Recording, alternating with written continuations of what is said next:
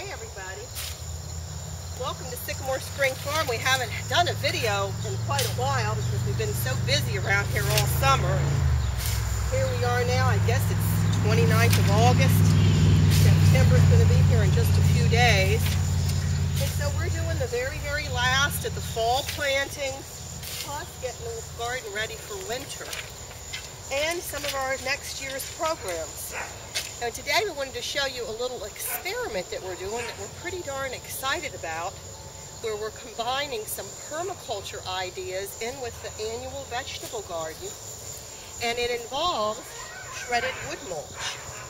So come on up here and we'll give you a, a look at the garden that we're working on. And take a look at that beautiful basil on the way up here. That's blue ribbon basil if I've ever seen it.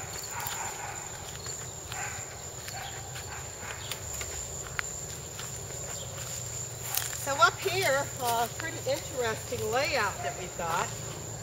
As you can see, what we're doing is we're using beds that are wide enough that we can work them from both sides and get into the entire bed to plant it, weed it, work it so this is going to end up being a no-till program and design out here.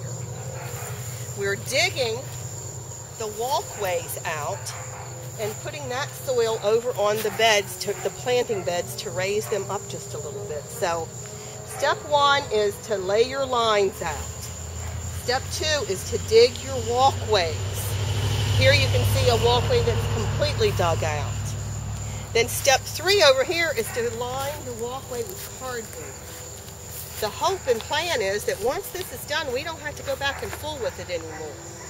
And then step four, I'm actually standing on it here, you can see, are the wood mulch walkways. This already has the walkway finished around the edge of this entire garden area.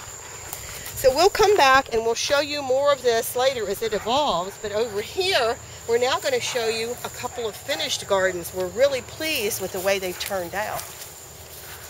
Here you can see we've got our winter plantings of some turnips and beets and some greens. And the, the garden has ended up really awesome with these wonderful shredded wood walkways and these, you know, pretty wide beds so that we can work them from both ends and we're pretty tickled at the way that it's turning out. So stay tuned because we're going to be updates and more videos as we are able to actually say we've proven what a wonderful idea this is. We're going to see how it works right here at the farm.